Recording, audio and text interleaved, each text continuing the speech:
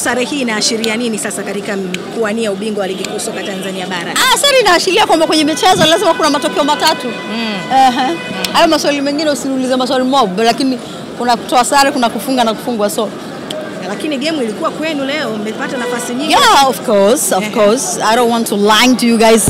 Mi sio mnafiki mnafiki. Kama timu yangu imecheza poa, nasema poa. Kama hivi nini iko hivi, kweli kabisa. Azam tulioitarajia si Azam tulioiona leo. Mm. Azam ya leo ilikuwa imetepetwa sana, yani imedorora, imedoz kabisa, ila tu sisi tumecheza mpira mm. but then bahati haikukua kwetu. Yes. Unadhani ni mchezaji gani ambaye amekukosha leo katika kikosi cha Yanga?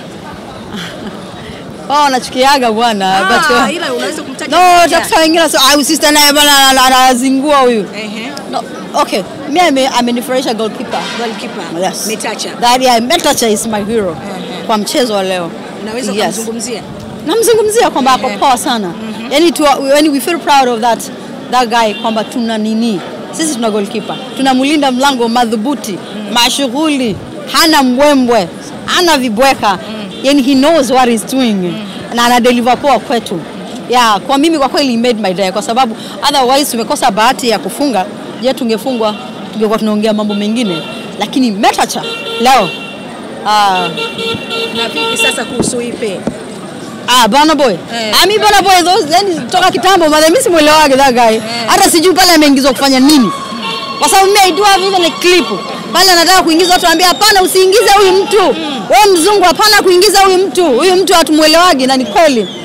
Si mnaona nini amefanya? Kwa hiyo leo hakuna kitu alichokifanya uwanjani. Ah, sio leo tu Bahrain, mimi sijawahi kumwona kipi akitoa akifanya kitu. Yaani yule usajili wetu hajarudisha hata shilingi 20 bado.